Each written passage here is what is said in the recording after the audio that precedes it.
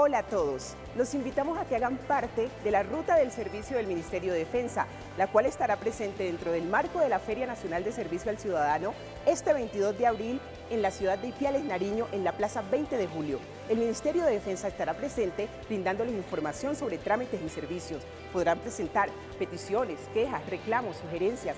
Además, les brindaremos información sobre bienestar, pensión de invalidez, víctimas, entre otros. Los esperamos.